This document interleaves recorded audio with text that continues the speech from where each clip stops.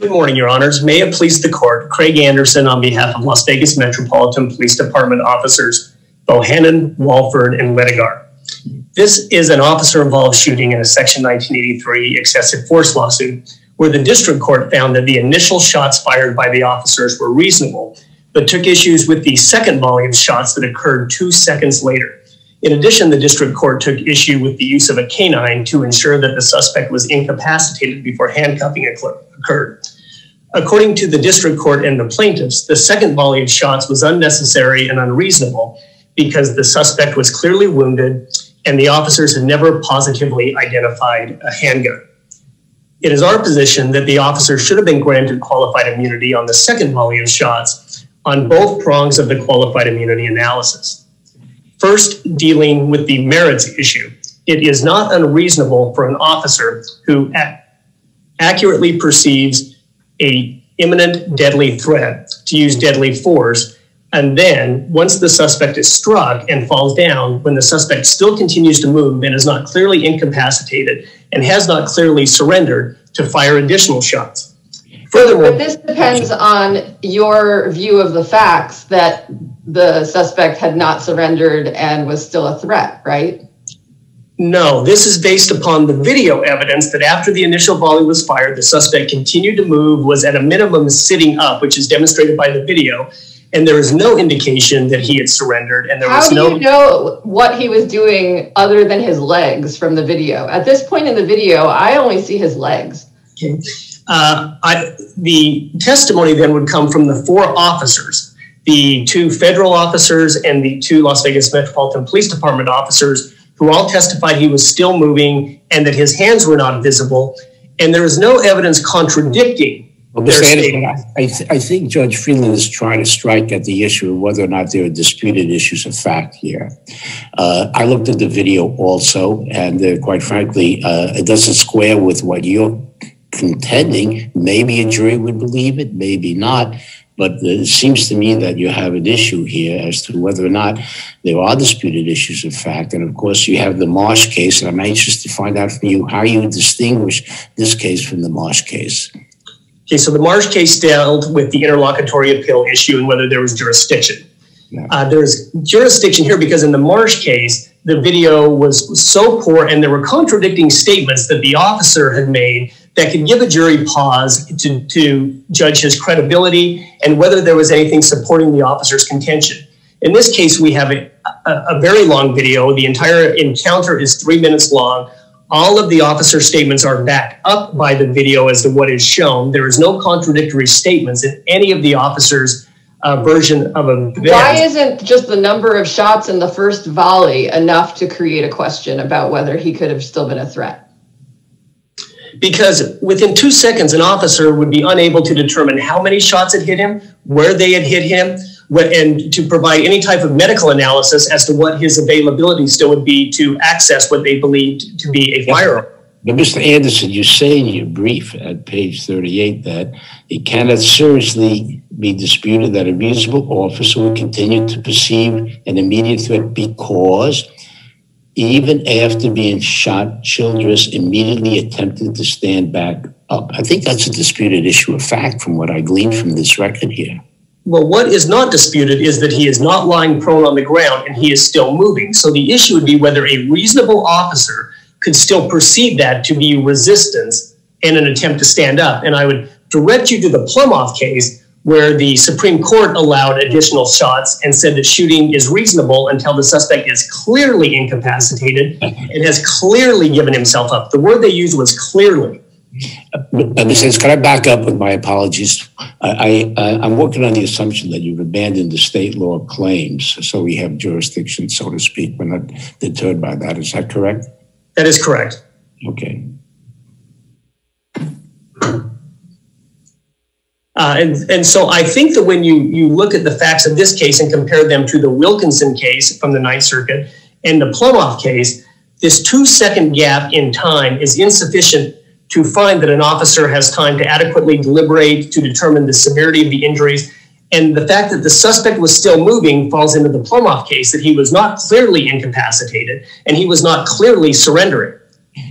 You know, when I looked at the video, he seemed pretty incapacitated to me. Maybe a jury would agree with your police officers after they testified, but I can't think of a better example of a disputed issue of fact here that's at the bottom of this qualified immunity case. And it seems to me that, you know, jurisdiction is questionable here under the Marsh rule. Well, I don't think the jurisdiction is questionable, especially when you look at Mullenix, uh, Plumhoff, Scott v. Harris, uh, I understand the Johnson v. Jones standard, but the Supreme Court has had similar cases of this where they found the jurisdiction is easily uh, accepted because we have the video, we have the officer statements, we have all of the evidence necessary. Because the issue is really if if if you believe there's an issue of fact as to whether summary judgment should be granted on the merits, we can then move into the qual- uh, clearly established prong, which is it clearly established that firing shots two seconds after an initial round is it clearly established that could be unreasonable when you're looking at the cases of Wilkinson, Porter v. Osborne, and Plumhoff. The closest case that both plaintiffs and I could find was the Zion versus City of Orange case, which is completely different facts. The suspect had a knife, he had a six second gap between the two volleys, and he was laying prone on the ground. He he was clearly I think you concede in your brief, though, that it would be excessive for any officer to use deadly force on anyone who posed no threat. So I don't really think you get much more from arguing about the second prong. If this really turns on the first prong, doesn't it? Not necessarily because he is still upright, I mean, on, on his buttocks, but he is still sitting up. He's not laying prone on the ground. But, but the jury, I mean, someone has to either find that he was a threat or he wasn't if he was a threat, it's okay to shoot, and if he wasn't, it's not okay to shoot. And there's that's clearly established. So I, I don't think the clearly established prong is really adding anything here. Okay, well, the, the evidence in the record then on the merits is, from their own experts is that a person can draw and fire a firearm within two seconds. And so the fact that he is still not prone on the ground, that he is still not clearly incapacitated, clearly surrendering as the Supreme Court requires, a reasonable officer on the scene of the incident, because we're kind of there was a recent case that is cited in the briefs, Monzon, where the, the panel was clear that we shouldn't piecemeal these cases to a great extent because you have to take into account, as you are very well aware, that we can't look at this with 2020 hindsight. These are very stressful situations. They are very high tense with rapidly evolving, you know, all the language that I know. And so to punish an officer who has reasonably fired two seconds before to fire again when the suspect continues to move, there it there is not, no case law that would indicate that is unreasonable. Now, I would agree with you. You know, what's pretty obvious that's happening here is that two seconds is the, the reason the two seconds is, uh, in a sense, in the favor of your officers is that not that if someone looked at the video, thought about it, had 10 seconds or a minute to think about it, would he, would this person be posing a, a threat justifying deadly force? And the answer is pretty clearly no. Uh, but the problem is your officers aren't processing this fast enough, or they've got their adrenaline high. I mean, it's it's it's it's a question of whether they have time to assess the true situation, and we see this over and over again. Uh, these guys are in a high stress situation. The adrenaline is flowing. They've shot once, and they don't actually pause to think about it, uh, and they just shoot again. I mean, that, that, we see this over and over again. No, but, that, but that doesn't tell me that you win. It tells me that the officer actually is supposed to is supposed to think about it. I agree generally with what you said, Judge Fletcher, except that the officers are supposed to eliminate the threat. And as long as they can reasonably articulate a threat, which we have four officers here that did, they all testified that they still perceived a threat. Well, you know, um, I've seen these cases over and over again. Uh, the, the fact that we got four officers testifying consistently just tells me that I got four officers testifying consistently uh, after the fact in order to defend themselves. we see this all the time, of course. But then what the, the court is asking officers to do is after the initial volley, when the suspect is still moving and it's clear he's not prone on the ground, he is still at least up on his buttocks, just wait and hope for the best. Where his own experts agree he can pull and fire a gun within two seconds the Supreme Court, I, I, would go back to Plumhoff, where it says he has to be clearly incapacitated and he has to be cl- or, or clear signs of surrender. And we simply don't have that here. He is not incapacitated. He is still moving. He is still a viable threat. and the officers are not required to guess or speculate as to what his injuries are or what his ability to to still remain uh, uh, active. Yeah, if we were to disagree with you on this point, and if we were to agree that it's a disputed question of fact as to whether or not he still poses a threat, do we have do we have appellate jurisdiction? Okay, do you have appellate jurisdiction? Um, well, yes, I, I, believe that you have appellate jurisdiction over this case. I think this, this is the exact how, do you, how do you get around, uh, among other things, Judge Friedland's opinion in Estate of Anderson, if there's a disputed question of fact? I believe the facts in this case are much different than the estate of Anderson. In the estate of Anderson, there was not, it, it, it did not appear to me, which Judge Friedland would know better, that there was any good video evidence. And there were also contradictory statements that the officer made where he never mentioned that a gun was in play until later. And I mean, then, that, that just might mean that it was a stronger case for the plaintiff, but the issue is whether there's a dispute of fact. And so you're saying that evidence for the plaintiff was better in that case, but in both cases, we have a dispute of fact. Well, I think I, Judge Fletcher's premise was assume there's a dispute of fact. And at that point, how do you have jurisdiction? Well, uh, so the fact that that we're saying here is disputed, in my opinion, is not disputed. Uh, the the fact that I'm raising is that the suspect was still moving; he was not prone, and that is a fact from the video. I agree you can't see the hands. I agree that there is some ambiguity there as to what he's doing, but we have the officer's testimony and we have the video, which shows that he is still moving, that he is not clearly incapacitated. So I don't view that as a disputed fact because the only fact that I believe I need to prevail is that he is still active, that he is still moving. Well, the district court disagreed with you. It said that whether Childress had his right hand near his pocket when approaching the officers was disputed, and whether Childress was moving or had access to his pocket after being shot and falling to the ground. So the district court really believed there were disputed issues of fact here, but apparently you disagree with that. Well, I, I don't disagree with that because I don't think anyone would know whether he had access to his pocket I, I, don't think that an officer would be able to tell that from that vantage point. What the officer is looking at is that he's still moving, he is not clearly incapacitated, and the threat has not been eliminated. And I think from the video, let me ask, you, let me ask you, let me ask the question this way. Um, let's assume that we have uh, unanimous and consistent testimony from the four officers that's not directly contradicted by the tape. But the jurors for whatever set of reasons, decide that the four officers are lying. Um, is that a disputed question of fact? I think for purposes of summary judgment, no, because they did not provide any. If this court had evidence that the officers had credibility issues, veracity issues, their statements had been challenged in other ways, then possibly. But for summary judgment, they need to come forth with some evidence that would support your theory. Judge Fletcher at this well, point. I, I, yeah, I understand that it's a technical matter, but uh, in the real world, um, I wouldn't be surprised if a juror says, I see, you know, whenever, when, when four stories match precisely, and it's after the fact, and the officers have a clear interest in having this story be the story that they're told, I wouldn't be surprised if a juror says, you know what, this just, I, I don't, I don't believe it. Um, and I think the juror, if we're after the fact and we're trying to figure out if the verdict can be sustained, I, I that jury verdict probably sustainable.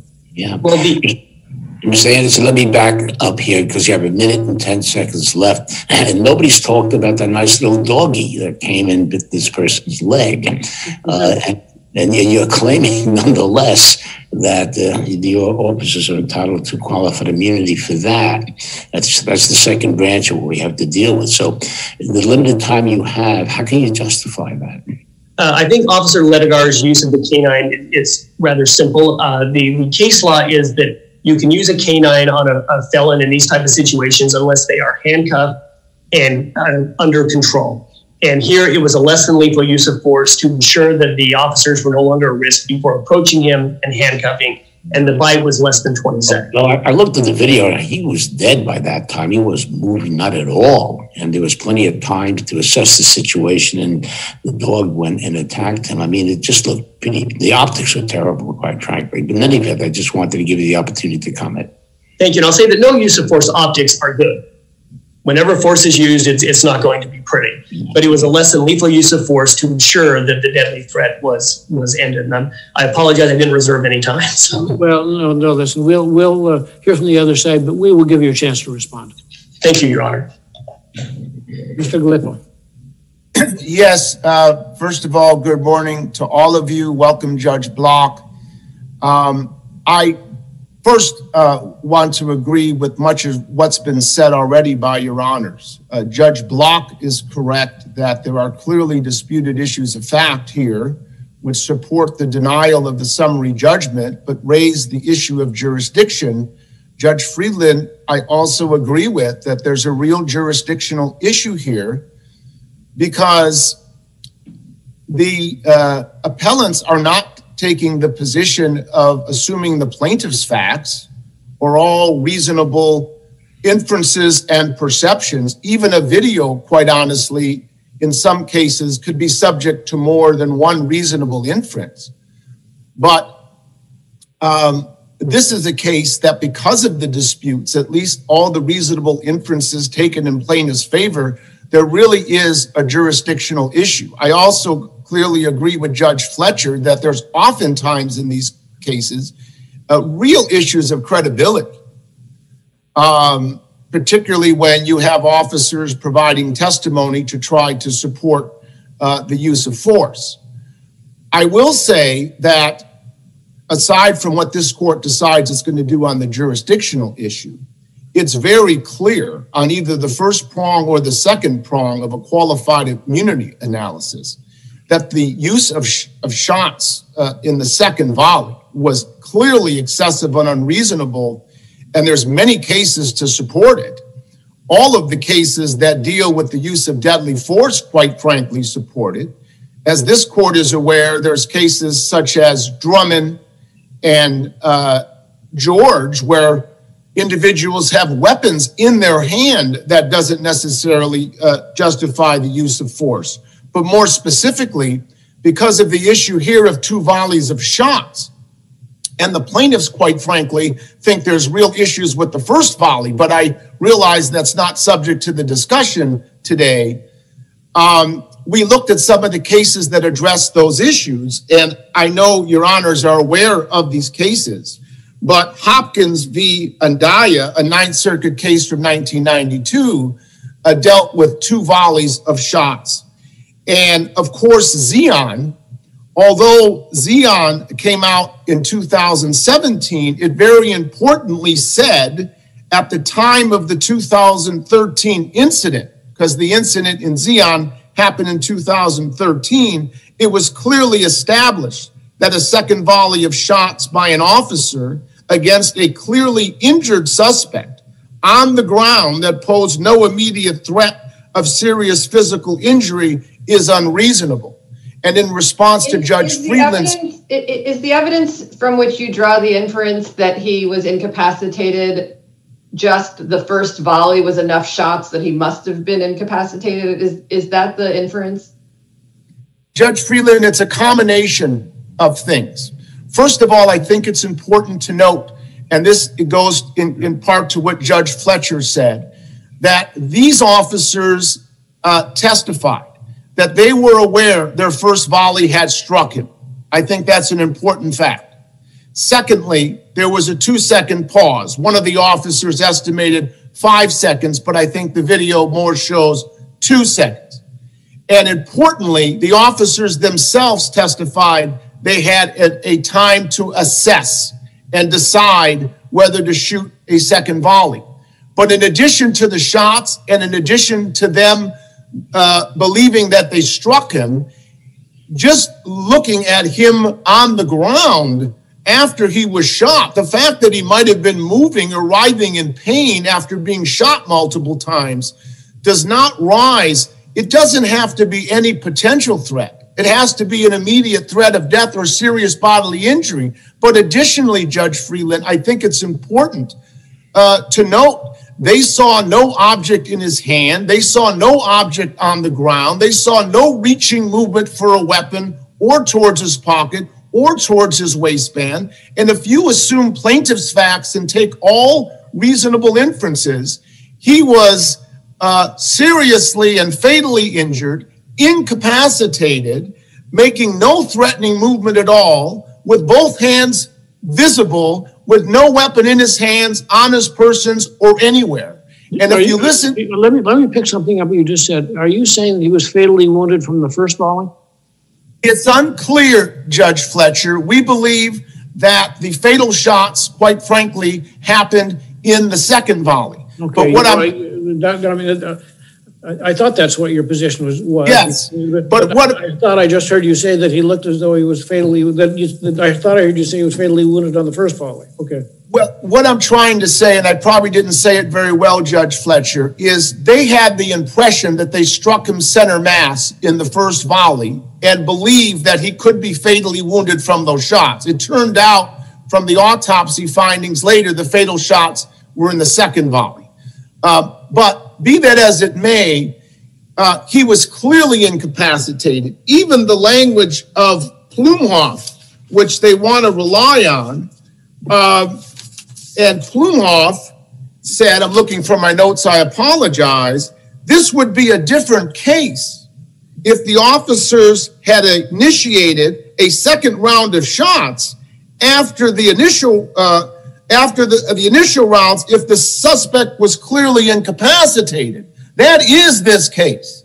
And if you take all reasonable inferences in plaintiff's favor, this is one of those cases where plaintiffs could have considered filing a motion for summary judgment on the second group of shots. But at a minimum, uh, this court should decide either that it lacks jurisdiction because of the factual disputes or make the easy decision that the district court was correct in denying summary judgment on the uh, second volley of shots. I'd like to add something about this two second pause. Uh, in Zion, and the last case I wanted to mention was Tan Lam v. City of Los Banos. Again, that came out in 2020, but it was a 2013 incident. And importantly, Tan Lam referenced both Hopkins and Zion as being either controlling or persuasive authority and standing for the proposition that just because the opinion comes out after a particular incident, if it references controlling authority earlier, 2013, that governs. And our incident happened 1231 2015. Um, but if the I don't know what the confusion is on Zion regarding the timing. There is a reference in the opinion that spans six seconds. I don't know if they were trying to say how much time passed from the first shot to the last shot. But one of the exhibits in Zion was the YouTube video of the shooting. I watched it yesterday. I, I think it's in the record here or referenced. And I, in, in one of our footnotes, it's a one second gap in Zion between the first group of shots and the second group of shots if you watch the video, less than what we have here. The other thing you'll notice when you watch the video in our case, that I know you have repeatedly, when you listen to the shots while he was on the ground, there's really a last shot. There's almost a pause, almost two volleys, if you will, of the shots while he's on the ground. The last one might have been the, the, the last and fatal shot, but you hear some shots while he's on the ground, a short pause, and then the last shot. And then he stops moving. And as Judge Block indicated, uh, he's not moving at all. He's laying there motionless, lifeless, and they sick the dog on him. I would suggest that in addition to all the case law that supports the plaintiff's position, the shots while he's on the ground and the dog bite, they really fall within the obvious here. I mean, to have someone visibly unarmed, not moving, shot multiple times laying on the ground, and it must be difficult. I know family members are watching this today, but it must be difficult to know in the last seconds of someone's life a dog is chewing on their leg for 15 seconds. And two of the cases that support that, because they argued qualified immunity on that, uh, were Mendoza versus Block, the Ninth Circuit case from 1994, and Watkins versus the city of Oakland, which I'm sure Judge Fletcher will remember uh, a good opinion written by a good judge. But I think there's not only case law that supported both prongs of the analysis that the dog bite was excessive or unreasonable. The law was was clearly established on that point. So I think for all those reasons, this court should either decide that uh, it does not have jurisdiction because of the clear material factual disputes, or if it gets beyond that, assuming all of plaintiff's facts and taking all reasonable inferences in favor of the plaintiff, which the appellant seemed uh, unable or hesitant to want to do, um, there's clearly evidence to support uh, excessive force on the uh, second group of shots and the dog bite. And as you've all pointed out, most of these issues and questions are jury questions. They're jury questions of fact. They're jury questions of weighing this evidence and even reasonable inferences. And even if the appellants say, well, one reasonable inference is X, that might be true, but there's another reasonable inference that a jury could say, and that might be why. And that's why we can't uh, grant uh, uh, their uh, appeal here. And as Judge Fletcher indicated, there's always questions of credibility. So those are my main points I wanted to make, but I have a little time. So if any of you had any follow up questions on any of the, the points. Any questions from the bench? Any further questions? No, No. thank you. Uh, Mr. uh, Anderson, let's put two minutes on the clock for you. Thank you, Your Honor. And, and to follow up on what Mr. Galipo finished with, the reasonable inferences, we could all have different opinions as to what was going on here. The standard is what a reasonable officer on the scene in this tense situation would thought, not what we can come up with or other people. I would direct the court back to the Wilkinson case, which was a two second gap between the first and second volley. The fact it's two seconds is found in the dissent at page 577. But the, the majority in that case said that you don't need to parse out each shot because such a requirement places additional risk on the officer not required by the Constitution. Torres did not shoot mindlessly, but responded to the situation by ceasing fire after he perceived that the van had lost power and that the threat had been eliminated. That's what happened here. The officers continued to shoot until he went prone on the ground. It wasn't mindless, and it would be placing a heavy risk on officers to have to render immediate medical diagnosis, determine how incapacitated a person is after they have justifiably used deadly force against someone who is not clearly incapacitated. And I would argue that the, the clearly established prong does apply because there needs to be a case that says two seconds is sufficient time to deliberate and reach all of these opinions that we're requiring of the officers. And if there's no further questions, then, then I'll rest on that. Okay, thank, thank both sides for their arguments. Lawrence versus Bohannon sub- submitted for decision. Thank you for their helpful, helpful arguments.